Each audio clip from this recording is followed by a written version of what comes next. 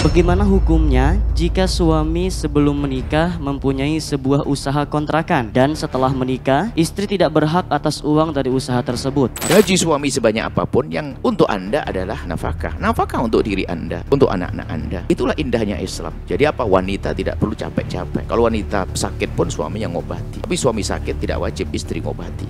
Ayo. Mau menyaksikan kajian Buya Yahya tanpa biaya internet? Segera pasang parabola Al-Bahjah TV di rumah Anda. Bebas biaya bulanan dan tanpa koneksi internet.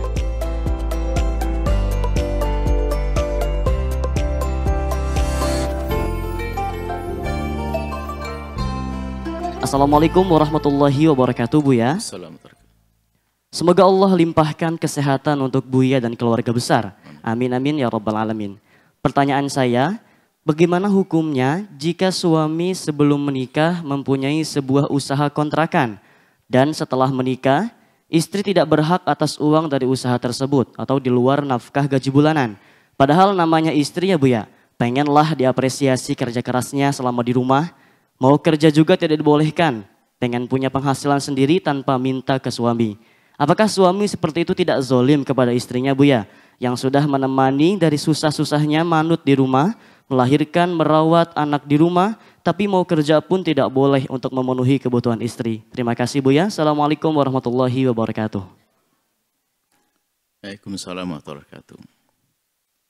Dari pertanyaannya adalah dia menginginkan kelebih lebih daripada nafkah. Kan tadi nafkah ya, ada nafkah disebut. Ada nafkah. Jadi gini wahai istri yang soleha. Selagi nafkahmu sudah diberi, ya itu sudah luar biasa. Rumah-rumah suami, kontrakan-kontrakan suami. Gara-gara menikah langsung pengen dapat jatah khusus selain nafkah. Itu anda ini aneh banget perempuan itu. Suami anda bekerja, anda suruh cantik-cantik di rumah. Kan nafkah sudah dikasih. Sebetulnya itu seenak-enaknya perempuan. Tinggal dandan yang cantik, gak usah Anda berurusan dengan terik matahari. Kadang-kadang ada wanita-wanita yang aneh semacam itu. Sudah dikasih nafkah, dikasih nafkah kan dicukupi untuk kehidupannya, kan begitu. Menginginkan yang lebih, apa yang Anda inginkan? Yang, lo kan saya pengen penghasilan khusus, yang sudah diberi nafkah. Kecuali di saat suamimu tidak bisa memberikan nafkah. Ya, coba kalau berpikir, apa dibalik saja? Anda yang cari nafkah, suami, suami Anda biar duduk-duduk di rumah. Nggak enak juga kan? Memang paling ini sudah benar syariat Islam. Dia tidak membayangkan. Jadi dipikir, wah suaminya kerja enak. Loh, kerja itu berat loh ya. Jadi wahai para istri, Anda jangan menginginkan suatu berlebihan.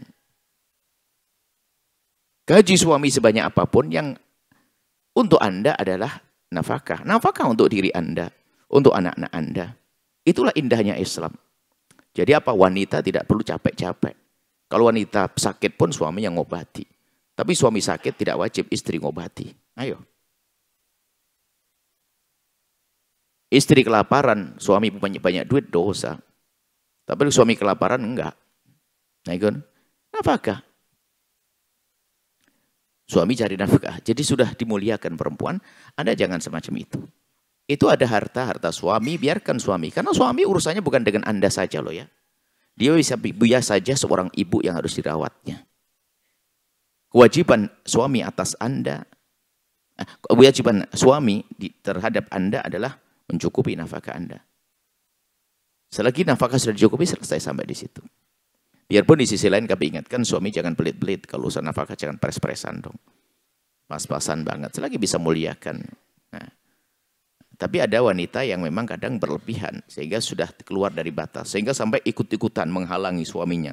Sampai suami nyumbang ke adik-adiknya nggak boleh, nyekolahkan adik-adiknya sendiri nggak boleh, bantu ibunya nggak boleh. Oh, nafkah sudah dipenuhi. Nah, enak-enaknya perempuan seperti itu lihat, nggak usah bekerja, kerja capek, belum lagi dengan fisiknya, waktu hamil, waktu haid segala macam. Seperti itu. Jadi uh, tidak dolim suami Anda asalkan sudah beri nafkah. Sepertinya Anda yang bakal dolim itu tadi bertanya. Suami Anda bahasanya di luar nafkah ya. Di luar nafkah begitu. Berarti nafkah sudah diberi. Kalau nafkah sudah diberi sudah nggak ada nggak ada kewajiban. Nafkah yang benar ya. Nafkah sesuai dengan yang yang yang keperluan Anda dipenuhi, bukan keperluan yang mewah. Minta yang mahal-mahal mau mobil kelas ini enggak enggak ada gitu. Nafkah untuk makan, untuk ini Nah, ada pun nanti di saat Anda ingin bekerja, minta izin kepada suami. Lah ternyata kalau suami tidak mengizinkan, ah, mestinya lo. Coba saya bertanya dengan perempuan-perempuan yang berakal sehat ini. Ah, pilih mana sih Anda?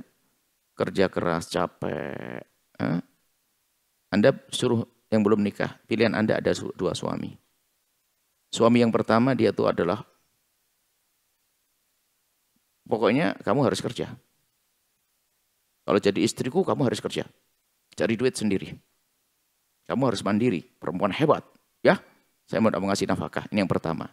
Yang kedua, wahai calon istriku, kau sudah duduk saja di rumah yang cantik ya, dan dan saja. Biar saya yang capek.